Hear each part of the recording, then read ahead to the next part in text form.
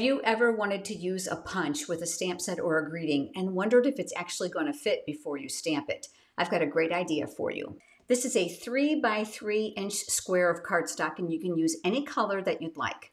I've got the punch I want to use here and I'm going to go ahead and slide that in. I'm looking to center it and then I'm going to punch.